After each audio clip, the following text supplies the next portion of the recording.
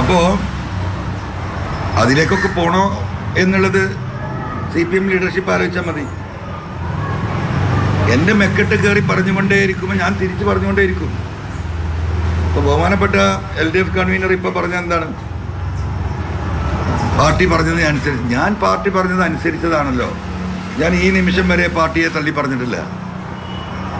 ഞാൻ ഇത്ര വയലന്റ് ആണ്ട് വന്ന എന്താ?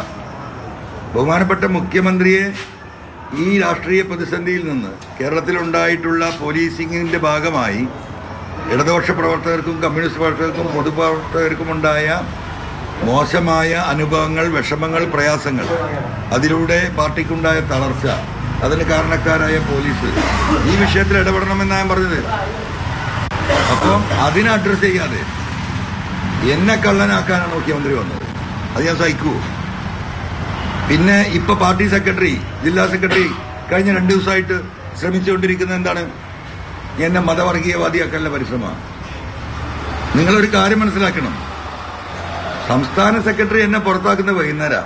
രണ്ടര മണിക്ക് തുടങ്ങിയ പത്രസമ്മേളനം മൂന്നരക്കാ തീരുന്നത്. അവസാനമാണ് അദ്ദേഹം പറയുന്നത്. അതിനു മുമ്പ് പാർട്ടി സ്റ്റേറ്റ് കമ്മിറ്റി വിഷയത്തിൽ അവരുടെ അഭിപ്രായം പറയുന്നതിന് മുമ്പ് ഈ മോഹൻദാസ് നടത്തിയ പ്രസംഗമാണ് നിങ്ങൾ കേട്ടത്. അപ്പൊ അദ്ദേഹം ആദ്യം എന്നെ തള്ളിയിട്ടുണ്ട്.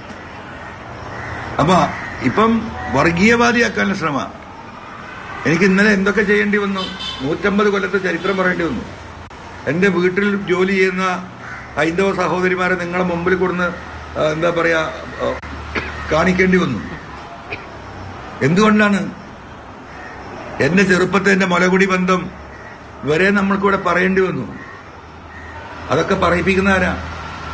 ഇപ്പൊ സി പി എമ്മിന്റെ ലീഡർഷിപ്പാ ഞാൻ ആദ്യം പറഞ്ഞിട്ടുണ്ട് ഞാൻ ഈ പറഞ്ഞതിൽ ഒതുങ്ങി നിൽക്കണം ഇനി ഇത് അതിലപ്പുറത്തേക്ക് കേസും കൂട്ടവും ജയിലിലടക്കം വരട്ടെ നമുക്ക് നോക്കാം.